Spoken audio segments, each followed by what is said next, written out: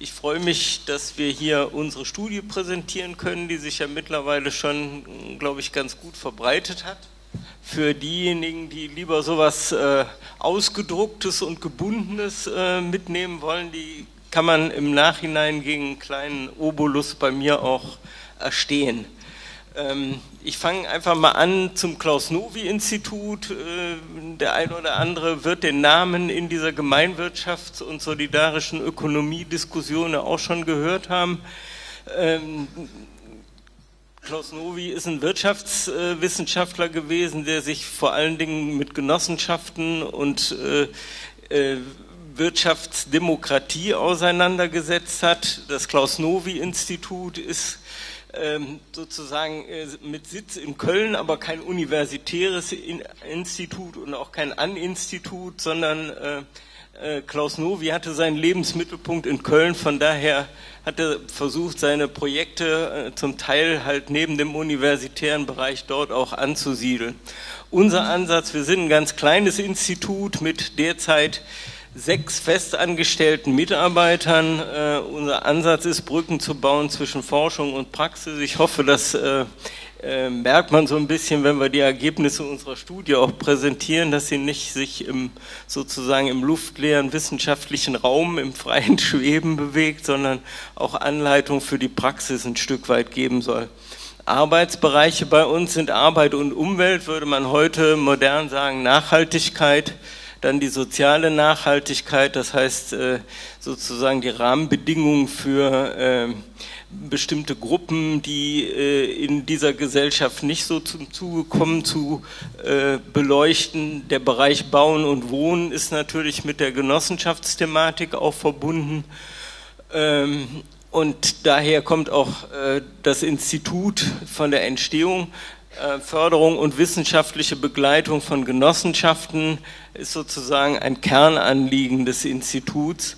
Und wir machen aktuell halt nur um ein, zwei Projekte zu nennen, äh, für das Umweltministerium eine Studie, wo die Potenziale von Energiegenossenschaften, ähm, die ja seit der Novellierung des Genossenschaftsgesetzes doch einen Boom erleben äh, in der Bundesrepublik, äh, die untersuchen wir und versuchen dort die Potenziale der Weiterentwicklung und auch das, was sozusagen drumherum ist, an ähm, Unterstützungsstrukturen in den Blick zu nehmen. Ja, kommunaler Klimaschutz ist ein Thema, da arbeiten wir halt auch in einzelnen Gemeinden, kleinen, vor allen Dingen kleinen Gemeinden, die wir ein bisschen versuchen in dieser Richtung ähm, zu beraten und vielleicht auch ein bisschen anzuschieben. Ähm, die Studie habe ich eben schon hochgehalten. Warum haben wir das Ganze gemacht oder was sind die zentralen Fragestellungen? Belegschaftsübernahmen sind für uns oder aus unserer Sichtweise auf jeden Fall eine Alternative zur Schließung von Unternehmen und zur Freisetzung der Beschäftigten. Da steht zwar hier noch mit, einer, äh, mit einem Fragezeichen, aber ich denke, äh, diesen Schritt zu gehen, ist auf jeden Fall äh, besser als äh, Beschäftigte freizusetzen. Ähm, und wir wollten mit dieser Studie rausbekommen, ähm, positive, negative Faktoren, die für das Gelingen und Scheitern von Übernahmen von Betrieben durch Belegschaften ähm, sozusagen auftauchen ähm, rechtliche, finanzielle Rahmenbedingungen äh, der ganzen äh, Geschichte untersuchen, halt an Fallbeispielen. Das ist eine Literatur- und Fallbeispielstudie. Ähm, Akteure und ihre Rollen beleuchten, ähm, die Ziele und Erfolgsfaktoren der Übernahme herauskristallisieren und am Schluss Handlungsempfehlungen zu geben. Das entspricht auch so ein bisschen äh, dem, was wir hier als Gliederungsstruktur für unseren ähm, Vortrag haben. Der wirtschafts- und gesellschaftspolitische Kontext, der ist ja heute Morgen schon ähm, relativ intensiv diskutiert worden in Fragen von Wirtschaftsdemokratie, äh, auch Finanz- und Wirtschaftskrise. Ähm, da ist halt äh, für uns ein entscheidender Faktor äh, die Zahl der Insolvenzen in der Bundesrepublik und nur auf die Bundesrepublik bezieht sich ja unsere Studie die setzt sich fest auf einer Zahl von ähm, 30 bis 40.000, also schwankt auf einem recht hohen Niveau und das sind immer zehn, also man nennt eine Insolvenzquote äh, äh, die Insolvenzen pro 1000 Unternehmen und die liegt in der Bundesrepublik äh, im jährlichen Schnitt immer über 10 Prozent. Also man sieht, äh, da ist einiges äh, sozusagen, was äh, ansteht und wo der Schuh drückt. Und die Schließung von Betrieben ist Insolvenz die eine Geschichte. Ursachen dafür äh, sind Managementfehler, die Shareholder-Value-Logik, äh, aber auch ein großes Thema ist die Nachfolgeproblematik in Unternehmen, gerade in handwerklichen Betrieben, die Übergabe ähm, an die nächste Generation, wo die jungen Leute halt nicht in diesem Bereich ausgebildet sind, das nicht machen wollen. Und auch da kommen natürlich Belegschaften und Mitarbeiter als äh, diejenigen in Frage, ähm, die sozusagen an die Stelle des alten Handwerkschefs treten und möglicherweise auch an den im Handwerk nicht gerade äh, partizipativen Strukturen äh, was ändern. Ähm, ja, größere gesellschaftliche Offenheit für Übernahmen. Ähm, das ist ein Stichwort, wo ich ähm, sagen würde, das ist äh, eine Frage, die wir festgestellt haben, die sich immer wieder in Konjunkturen bewegt. Also Belegschaftsinitiativen und die Offenheit für Übernahmen. Äh, äh, je intensiver die Wirtschaftskrise ist, desto stärker wird daran diskutiert. Ich habe die Endphase der Diskussion heute Vormittag zumindest mitgekriegt, dass es da äh, tatsächlich auch diese Logik gibt, dass äh, äh viel an Know-how eigentlich da ist und dass das aber auch immer nur abgerufen wird, wenn äh, ja, der äh, Gang quasi schon zu spät ist. Also das ist auch, denke ich, was die Kerstin gleich vielleicht noch vortragen wird, eine äh, Schwierigkeit bei diesen ganzen Belegschaftsübernahmen, dass wir es halt mit Wirtschaftsunternehmen zu tun haben, denen das Wasser bis zum Hals steht und äh, wo die Spielräume dann relativ gering sind. Ja, wissenschaftlich wie wir vorgegangen sind. Wir haben definiert natürlich, was wir unter Belegschaftsbetrieben äh, äh, verstehen, sind dann auf äh, den Kollegen Bierbaum und eine alte Studie gestoßen. Betriebsübernahme durch die Belegschaft wird verstanden, äh, wird als Betriebsübernahme durch die Belegschaft verstanden, Belegschaftsbetriebe, Entschuldigung. Und es gibt eine aktuelle äh, Definition, die wir gefunden haben vom DGB in Nordrhein-Westfalen. Der Zweck der Belegschaftsinitiative ist die Absicht, sich die, an der Fortführungsgesellschaft kapitalmäßig zu beteiligen und unternehmerische Verantwortung zu übernehmen. Betrieb, Ja, soweit zur äh, Programmatik. Betriebe, die eine Beleg Belegschaftsübernahme anstreben, bei der die Belegschaft das Unternehmen selbst verwaltet, weiterführt oder mit strukturellen Einflussmöglichkeiten beteiligt wird. Das sind die, die wir uns angeschaut haben. Nicht relevant für uns waren reine finanzielle Beteiligung, ohne dass damit eine Mitsprache und Einflussmöglichkeit der Beschäftigten einhergegangen wäre. Ausgewählt haben wir das Ganze, ähm, also unsere sechs Fallstudien haben versucht, so einen Schnitt der Bundesländer hinzukriegen, also zumindest die neuen Bundesländer mit ihren Besonderheiten dazu berücksichtigen, ähm, die Betriebsgrößen so ein Stück weit äh, unterschiedlich anzusetzen wir haben gesagt, der Erfolg und Status ist wichtig. Also man kann aus nicht umgesetzten oder gescheiterten Initiativen genauso viel lernen wie aus den umgesetzten. Die Rechtsform äh, sollte eine Rolle spielen, wobei wir da nicht äh, sozusagen von den Potenzialen und Möglichkeiten alles gefunden haben. War zum Beispiel auch keine Genossenschaft dabei oder auch kein Verein. Ähm, und bei diesem Zeitraum, ähm, da kann man halt feststellen, dass es halt wirklich so eine ähm, Konjunktur der ganzen Geschichte gibt. Also das sind jetzt, genau, das sind die Fallstudien im Überblick. da kurz was zu, zu sagen. glaube ich, das spare ich mir jetzt. Also das kann man schön in der Studie nachlesen. Man sieht halt, dass die im ersten, also in 83, 84 die ersten Fälle schon quasi historisch sind, was, was ich vielleicht erzählen kann, dass diese AN-Umwelttechnik, dass das auch eine ehemalige Freud-Niederlassung in Bremen gewesen ist, die sich im Zuge von Rüstungskonversion äh, umentwickelt hat, als Belegschaftsinitiative versucht hat, in Umwelttechnik und nachhaltige Güter ähm, da Verfahren zu entwickeln und in diesem Markt aktiv zu werden. Und die haben das auch mit einigem Erfolg gemacht, also haben zumindest einen großen Teil der Belegschaft äh, auch weiter beschäftigt. Mittlerweile ist die Sparte, die dort übrig geblieben ist, äh, eine äh, Siemens-Tochter geworden, aber der Beschäftigungsstand ist adäquat geblieben und die haben sich halt spezialisiert auf Windenergietechnik. Das wäre jetzt so ein kleines Beispiel, wo man sagen kann, naja, die haben nicht selbstverwaltet weitergemacht, aber unter so einem Kriterium wie Arbeitsplatzerhalt und den Umstellung auf eine ähm, denke ich mal, anstrebenswerte, nachhaltige Technik ist da das auch als Erfolgsbeispiel zu nennen. Ja, Gersi, da. Ja.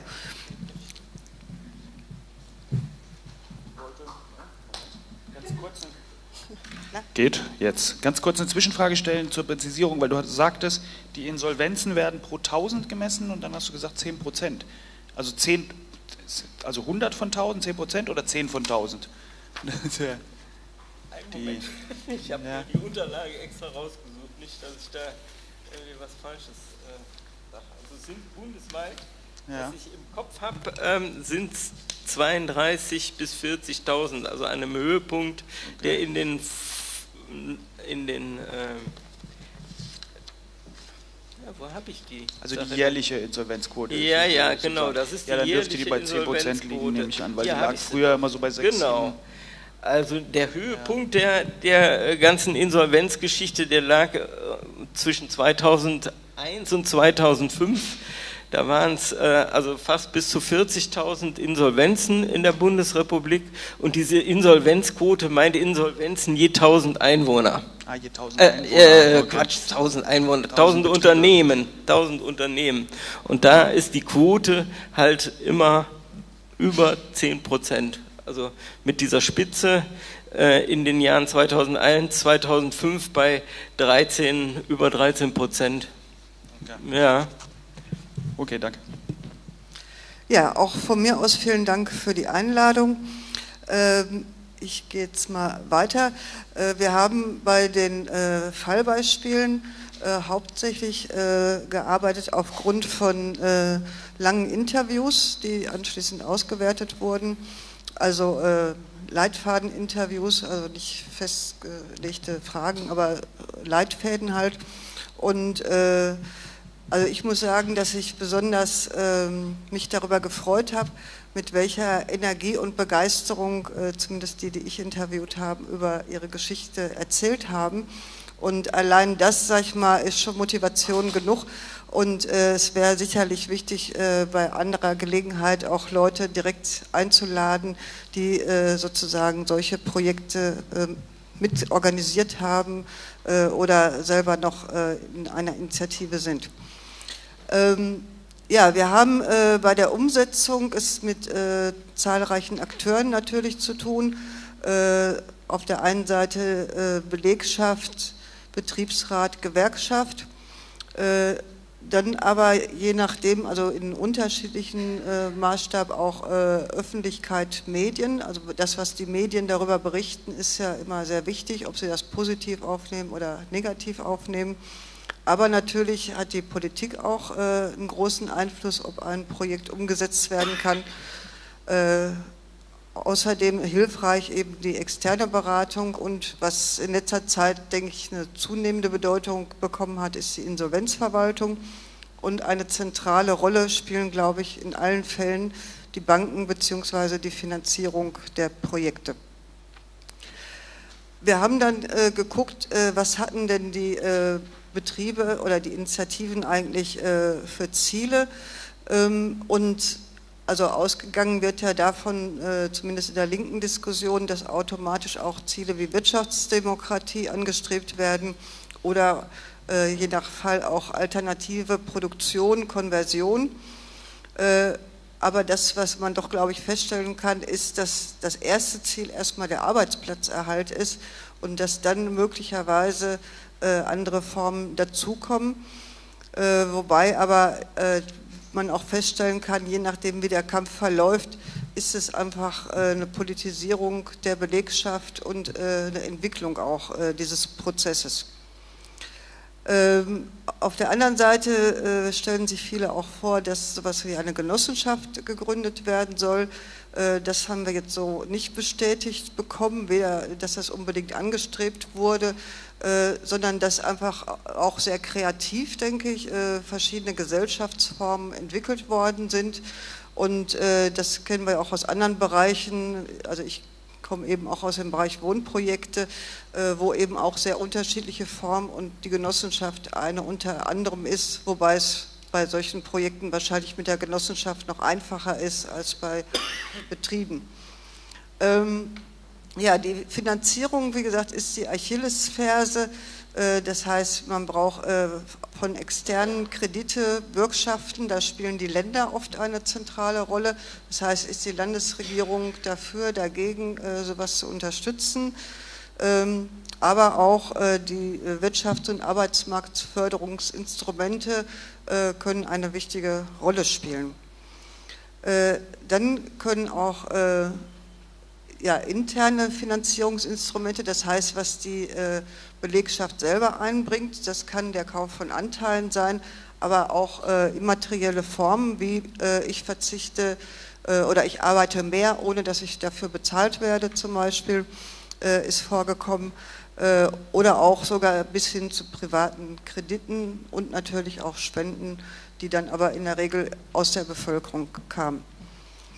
Ja, äh, das Konkurs- und Insolvenzrecht, wie gesagt, ist halt äh, auch geändert worden und äh, da können wir, glaube ich, feststellen, dass es immer noch nicht ausreicht, dieses Insolvenzrecht, sondern dass das auch noch weiter verändert werden muss. Wir haben dann geguckt, welche sind jetzt die positiven Faktoren, damit ein solches Projekt gelingt.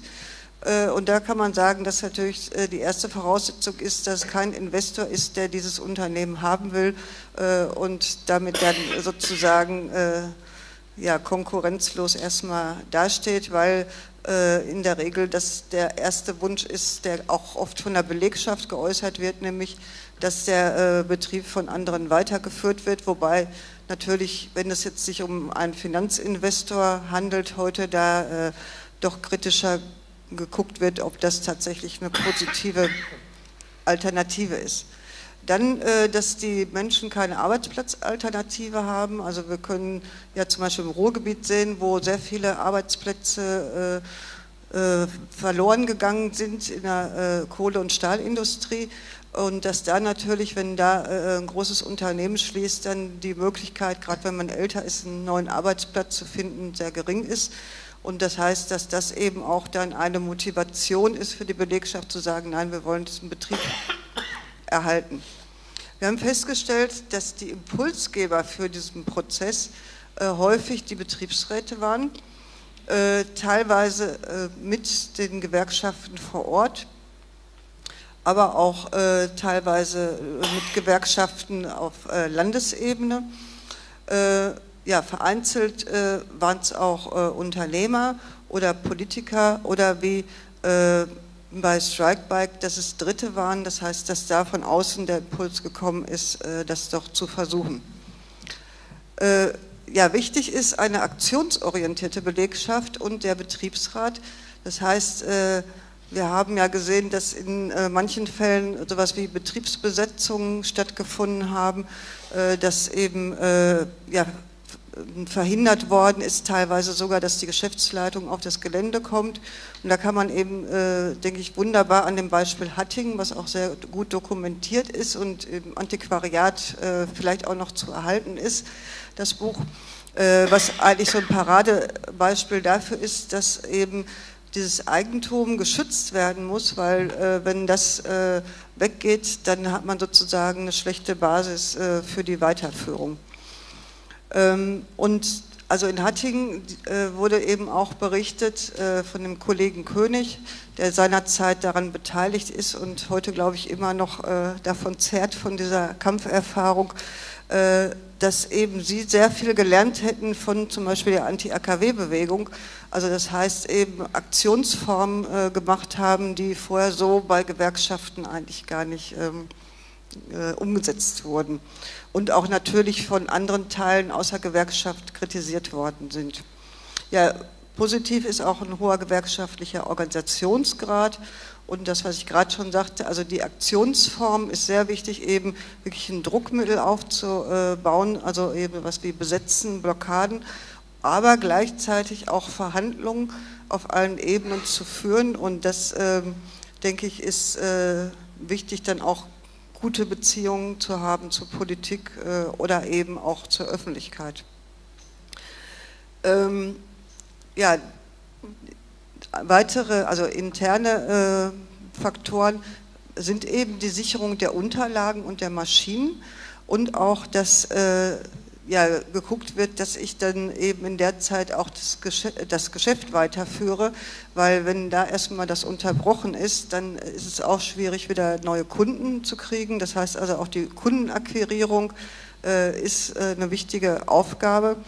Und was äh, häufig bei den Belegschaften wichtig war, ist, dass die Identifikation der Belegschaft mit dem Unternehmen oder mit dem Produkt ähm, ja ein sehr wichtiger Faktor ist, zu sagen, ich will hier weiterarbeiten, weil das ist meine Firma, obwohl es nicht ihre Firma im Besitzsinne äh, war. Und also ich habe mit äh, Sigmar Bender gesprochen, da sage ich, das ist das lebende äh, Bohrwerk, ja. Also der identifiziert sich so äh, als Gewerkschafter mit diesem Produkt äh, der Bohrer. Ähm, das fand ich schon äh, ziemlich faszinierend. Ähm, ja, dann äh, wenn betriebswirtschaftliche Kenntnisse da sind, ist wichtig, und das wurde ja vorhin schon mal erwähnt, dass teilweise die Betriebsräte mehr Ahnung haben können unter Umständen als die äh, Manager, äh, wie man einen Betrieb führt. Und äh, das haben die Leute auch erlebt, dass sie das können, was sie auch vorher sich selber gar nicht zugetraut hatten. Und ich denke, das ist auch eine sehr wichtige Erkenntnis, die daraus gewonnen werden kann. Ja, klare Entscheidungsstrukturen sind wichtig. Also ich sage mal, ein Extrembeispiel wurde genannt. Also wenn jetzt jede Kleinigkeit hier diskutiert werden muss, äh, ob wir uns jetzt einen Bleistift anschaffen oder nicht, äh, dann kommen wir hier zu nichts, sondern das ist ein Prozess unter Zeitdruck und da müssen wir äh, uns Strukturen schaffen, um eben auch schnell Entscheidungen zu treffen und Verhandlungen führen zu können. Ja, und dann äh, ein äh, Weiterführungskonzept äh, das wurde in aller Regel erarbeitet und da ist natürlich wichtig, ein Umfeld zu haben, entweder von Beratung oder Fachleuten innerhalb der Gewerkschaft oder gewerkschaftsnahen Einrichtungen, die ein solches Konzept entwickeln. Wichtig natürlich die Marktlage, das heißt, die Schließung deshalb ist, weil es zu große Konkurrenz gibt, dann ist es eben schwierig auch mit der Weiterführung. Wenn es aber so ist, dass halt äh, die Managemententscheidungen, und das war in einigen Fällen so, ähm, dass äh, die Produktpalette geändert werden sollte zu Massenprodukten, weg von Spezialprodukten äh, und dann nach der Übernahme wieder die äh, Spezialproduktion übernommen worden ist, waren es in der Regel dann sehr erfolgreiche Modelle und zwar bis heute. Ja, die Akquirierung von Aufträgen hatte ich schon genannt. Ja, wichtig ist äh, die Unterstützung durch Gewerkschaften. Und wir wissen natürlich alle, dass nicht immer in allen Fällen die Gewerkschaft äh, dem positiv gegenübergestanden hat, äh, dass Belegschaften ähm, ja, Betriebe übernehmen, aber auch die Politik und da haben wir äh, doch interessante Erkenntnisse äh, äh, sehen können, je nachdem, wo man hinguckt. Also das ist nicht unbedingt abhängig äh, von der Parteizugehörigkeit, ob die Politik solche Projekte unterstützt oder eben nicht. Ja, die externe Beratung äh, war äh, sehr wichtig und natürlich auch, wenn Kredite und Bürgschaften zum Beispiel vom Land gegeben wurden, äh, konnte das auch äh, eine positive Auswirkung haben. Äh, in einigen Fällen kann man sagen, dass die Öffentlichkeitsarbeit ein sehr wichtiger Faktor ist. Das kann man vor allem bei Strikebike sehen, die zwar jetzt ihr Ziel letztendlich nicht erreicht haben, aber die Öffentlichkeitsarbeit war äh, sehr gut, also die Medien haben das äh, gut aufgenommen. Und auch in Hattingen zum Beispiel äh, wurde eine große Öffentlichkeitsarbeit gemacht und vor allem auch äh, die Bevölkerung, der Einzelhandel und so weiter einbezogen. Und es gab aber zu der Zeit auch einen anderen Journalismus als heute. Das heißt, es gab Journalisten, die sozusagen auch diese äh, Interessen unterstützt haben und das entsprechend in die Medien gebracht haben ja, Vernetzung ist sehr wichtig und natürlich äh, die gesellschaftliche Diskussion über Demokratisierung der Wirtschaft, aber auch über Kon Konversion. Und da haben wir ja gestern schon gehört, dass die äh, Rahmenbedingungen in 70er, 80er Jahren äh, doch äh, vielleicht etwas, ähm, also zumindest in Westdeutschland, davon äh, reden wir ja meist, in den meisten Fällen von den Beispielen, äh, besser waren als heute. Ja, negative Faktoren gibt es natürlich reichlich auch äh, der größte Faktor, der sicherlich äh, auch in vielen Fällen dazu führt, dass nicht umgesetzt werden kann, ist der hohe Zeitdruck. Das heißt, wenn also schnell eine Lösung gefunden werden muss, und teilweise ist es eben auch so, dass die Eigentümer, wie gesagt, die Maschinen oder sonst was äh, wegbringen und dann gar keine Grundlage mehr ist äh, für die Weiterführung. Äh, oder dass es keine Kooperationsbereitschaft gibt von dem Investor oder Inhaber. Und ein zentrales äh, Problem äh, konnten wir immer wieder feststellen, das sind die Banken. Also das heißt äh, zum Beispiel in Chemnitz, denke ich, das ist ein besonders tragisches Beispiel, wo eigentlich alles wunderbar geklappt hat. Das heißt, sie haben das erkämpft, die Belegschaft hat es übernommen, der Betrieb ist gut gelaufen, aber so ein Bohrwerk kostet halt 1,5 Millionen also um eins herzustellen. Das heißt, man braucht eine große Geldsumme und dafür gibt es halt keine äh, Finanzinstitutionen. Das heißt, man muss zu einer privaten Bank gehen und wenn die dann sagt, nein, wir geben euch das Geld nur unter der Bedingung, dass es kein Belegschaftsbetrieb ist, äh, dann ist damit das Todesurteil gefällt, wenn es da keine Alternative gibt. Und äh, das konnten wir ja auch in Hattingen sehen, dass da auch letztendlich das am Geld gescheitert ist. Ja, die Unterstützung durch die Politik ähm, ist eben auch sehr unterschiedlich und äh, interessant fand ich eben, das war dann auch in Ostdeutschland, dass eben äh, das Projekt erst von der CDU, vom Biedenkopf unterstützt wurde und als dann Regierungswechsel kam, äh, die SPD dann das nicht so äh, wichtig fand und sogar, das hat mich sehr erstaunt, die PDS meinte, dass das kein, keine gute Lösung wäre, wenn ein Betrieb durch eine Belegschaft übernommen ah, doch, war die PDS, ne? Ja. Und hm? zu dem Zeitpunkt, ne? Ja. Ähm, also das heißt, das kenne ich auch aus anderen Projekten, dass da äh, die politische Zugehörigkeit manchmal nicht so relevant ist wie andere Faktoren und vor allem Regierungswechsel sind immer gefährlich. Also weil oft die Nachgänger das Gegenteil machen möchten als ihre Vorgänger. Ja, und eine zentrale Sache, die sicherlich äh, auch eine große Schwierigkeit oder Herausforderung darstellt, dass es oft sehr aktive Einzelpersonen sind, äh, die es dazu bringen, dass so ein Projekt angegangen und umgesetzt wird. Und wenn diese Personen wegfallen, aus welchem Grund auch immer, dann kann unter Umständen das ganze Projekt äh, in Frage gestellt sein. Ja, wir haben dann auch viel äh, auch untereinander diskutiert, was ist denn eigentlich ein Erfolg von einer Belegschaftsinitiative? Und äh, ich denke, ja gut, je höher man die Maßstäbe setzt, desto kleiner sind die Erfolge. Äh, und äh, das heißt, es hängt eben vom Standpunkt des äh, Betrachters ab. Und ähm, wie gesagt, viele Arbeitnehmer äh, sehen jetzt erstmal äh, es für wichtig an, ihre Arbeitsplätze zu erhalten. Und es wurde auch geäußert, dass selbst wenn man das ein Jahr hinauszögert, den Arbeitsplatzabbau, ist es schon eigentlich ein Erfolg. Aber natürlich ist es besser, wenn es möglichst nachhaltig ist und ein ökonomischer Erfolg damit äh, verbunden ist.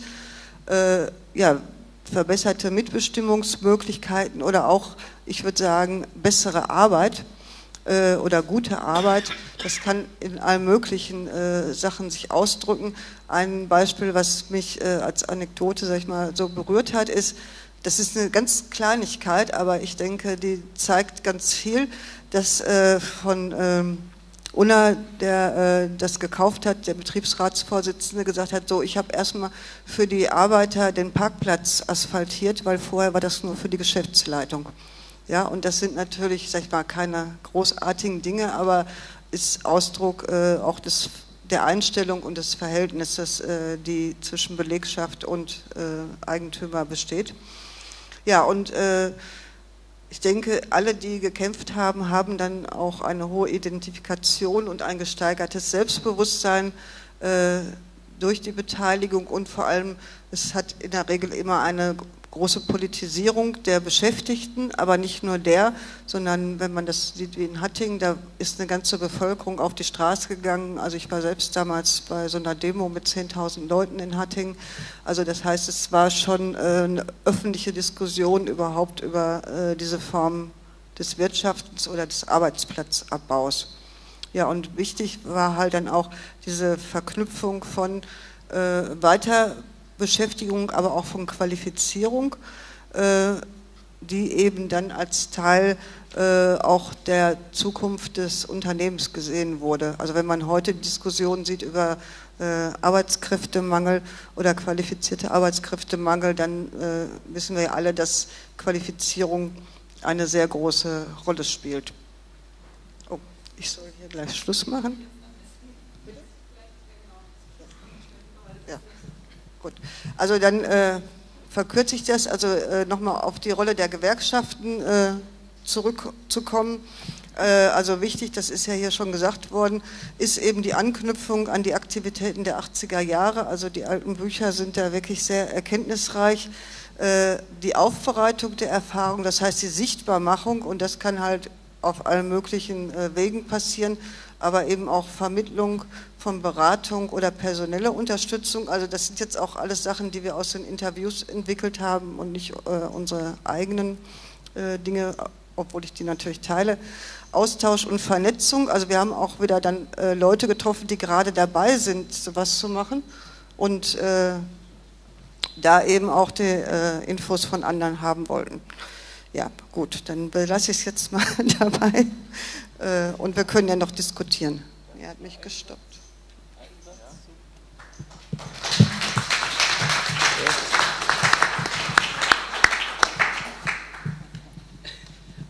eine, eine kleine Folie vorbereitet für den zukünftigen Forschungsbedarf. Und äh, da ist so die Feststellung, dass äh, trotz dieser Studie äh, Belegschaftsinitiativen oder Betriebsübernahmen immer noch ein gut gehütetes Geheimnis sind, dass man vor allen Dingen sehr schwer gute Beispiele findet. Und das hängt äh, unserer Auffassung nach damit zusammen, dass halt Insolvenz bei uns in der Bundesrepublik auch so eine äh, priorisierende Wirkung hat. Also die Firmen, die einmal in so einer Krisensituation waren, erzählen nicht gerne darüber, wie sie wieder da rausgekommen sind, auch wenn das äh, der Betrieb hinterher äh, sozusagen äh, demokratischer geworden ist.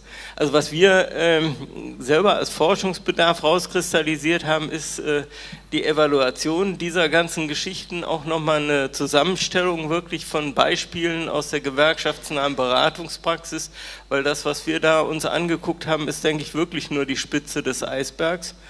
Und was so ein Lernprozessforderung wäre, wo wir auch schon mal länger drüber über nachgedacht haben, ist, äh, dass es ja auch gute Beispiele in anderen Ländern der Europäischen Union, in Lateinamerika gibt äh, und dass man auch aus diesen Praxisgeschichten lernen kann.